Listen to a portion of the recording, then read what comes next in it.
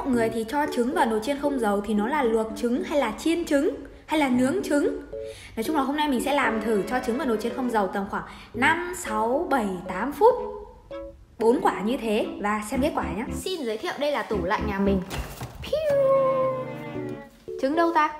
Đây, mẹ mình đã để trứng ở đây. Ok, nhưng mà vì sức chịu đựng của tay có giới thiệu nên là mình chỉ cầm 3 quả ra trước. Xem video thì họ bảo là nếu trứng lấy ra từ tủ lạnh thì nên làm nóng lò 3 phút rồi mới bỏ trứng vào Ok Mượn thêm túi bút màu của thằng cháu nữa nè. Để làm gì? Để đánh dấu số phút vào từng quả trứng chứ để làm gì nữa?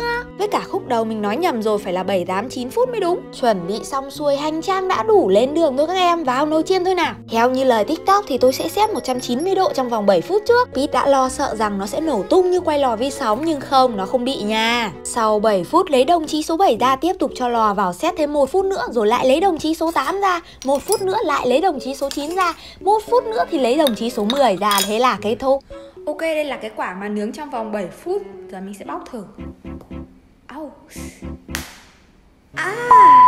Ui má ơi, má xem phim Hàn Quốc nhiều quá hay sao mà cứ nghĩ mình đang bên bển trong phòng tắm hơi của người ta ăn trứng luộc hay gì mà đập vô đầu không biết nữa. Mà rõ ràng là có vô vàn chỗ khác để đập cơ mà, ngáo thực sự ạ. Với trải liên quan là trứng nướng kiểu này nó khô mà nó khó bóc dã man luôn ý. Và càng đáng buồn hơn nữa là trong video tôi đã xem thì người ta bảo xét nhiệt độ như vậy sẽ ra trứng lòng đào, Nhưng của tôi thì không, nó chín rồi. Cũng có thể do mỗi lò khác nhau nên là nó có sự chênh lệch, Sau mình giảm thử xuống 5-6 phút thì chắc sẽ ok hơn ấy Nhờ vũ khí là một chút muối nên là mình đã xử lý xong đồng chí số 7 giờ sang đồng chí số 8 À thì tất nhiên là 7 phút còn chẳng ăn ai nữa là 8, 9, 10 phút nó khô đét rồi. Số 8 với số 9 còn đỡ chứ số 10 thì em xin bye bye. Mọi người ơi tất cả đồ hay ho pít mua đều để dưới comment nè. Còn nữa đừng quên nhấn nút đăng ký kênh để ủng hộ mình nữa nha.